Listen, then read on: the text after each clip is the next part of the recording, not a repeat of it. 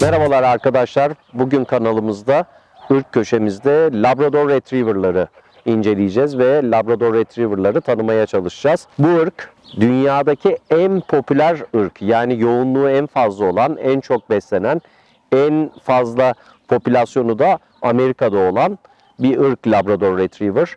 Çok iyi aile köpeği, çok iyi spor köpeği, birçok alanda görev köpeği olarak da başarılı bir şekilde kullanılan bir ırk Labrador Retriever. Evet Labrador Retriever'lar kökenleri Kanada isminden de anlaşıl- anlaşılabileceği gibi kökenleri Kanada bu ırkın. İlk orijini Kanada olarak biliyoruz Labrador Retriever'ların. 3 tane renk varyetesi var. Burada Bonnie'de gördüğünüz gibi krem renkli olabiliyorlar. Bunun haricinde Yellow Lab diye geçiyor. Bunun haricinde simsiyah olabiliyorlar. Black Lab olarak geçiyor ve Türkiye'de çikolata diye bilinen Chocolate Labrador Retriever e, yine üçüncü renk olarak FCI tarafından kabul edilen yani Uluslararası Kanin Federasyonu tarafından klasifikasyonda kabul eden kabul edilen 3 renk.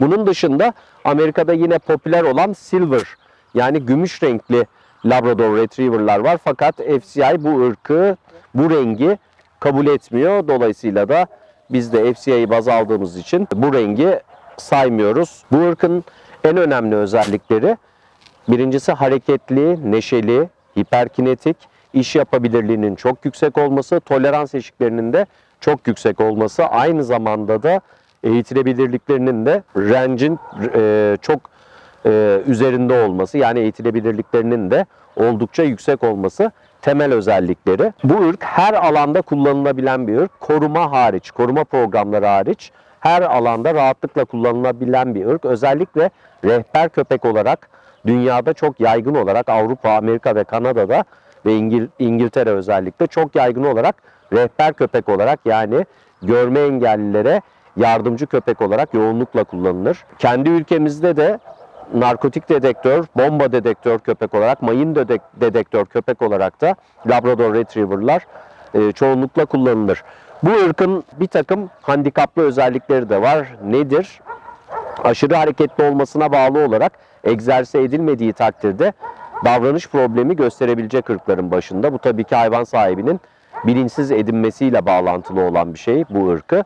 O yüzden Labrador Retriever sahibiyseniz egzersiz programlarına oldukça önem vermeniz gerekiyor. Çünkü egzersiz olmadığı takdirde bahsettiğim gibi bu ırkın bir takım davranış problemlerine stres kökenli olarak girmesi ve edinmesi olasılık dahilinde. O yüzden egzersizine önem göstermemiz gerekiyor.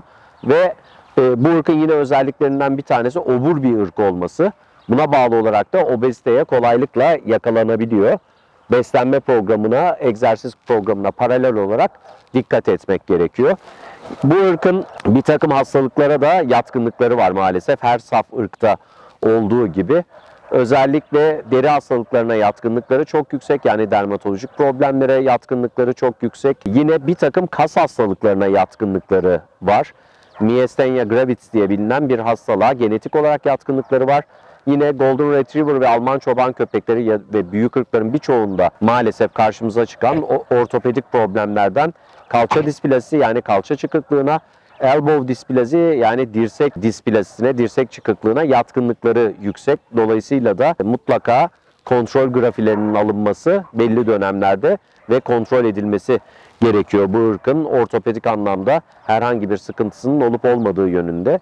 Yine böbrek hastalıklarına yatkınlıkları çok yüksek. PRA dediğimiz göz anomalilerine de genetik olarak yatkınlığı olan bir ırk. Dolayısıyla böyle bir ırk edindi- edindiğimiz zaman sağlık kontrollerinde genetik olarak yatkın olduğu hastalıkların eliminasyonu konusuna dikkat etmek gerekiyor. Bu hayvanla iletişime geçmek çok kolay ırk olarak çünkü iletişimi çok seven, işbirliğini çok seven, özellikle oyun oynamayı çok seven bir köpek. Bu yüzden arama kurtarmada, e, bu yüzden dedektör köpek olarak narkotikte, bombada yoğunlukla kullanılan köpekler aynı zamanda da düzgün çalıştırıldıkları zaman stabil mental algısı çok yüksek olabilen köpekler.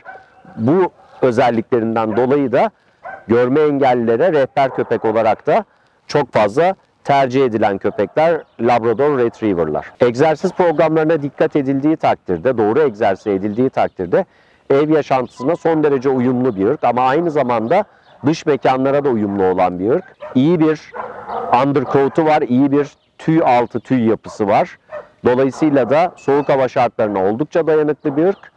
Ee, bu sebeplerden ötürü dışarıda da çok rahat yaşayabiliyor. Klima adaptasyonu çok yüksek olan bir ırk.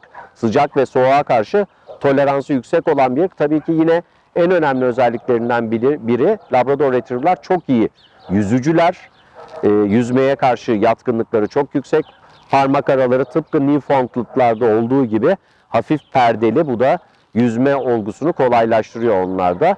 Ve tüyleri de suyu çok fazla alt tüy yapısına geçirmeyecek yapıda olduğu için sudan etkilenmeleri de yani tüm vücudunun tüm tüyünün ıslanmaması gibi bir durum söz konusu. Buna bağlı olarak da özellikle görev esnasında yağmurda çok rahat çalışabilen köpekler. Labrador Retriever'lar tüm özellikleriyle tüm dünyada bu kadar popüler olması işte bütün bu iyi özellikleri bünyesinde toplamasıyla bağlantılı ama üstüne bastırarak söylüyorum bu ırk hiperkinetik hareketli egzersiz isteyen bir ırk dolayısıyla edinmeden önce iyi düşünmek gerekiyor. Bu egzersizlere karşılık gelebilecek bir hayat ritminiz varsa bu ırkı edinmenizi tavsiye ediyorum.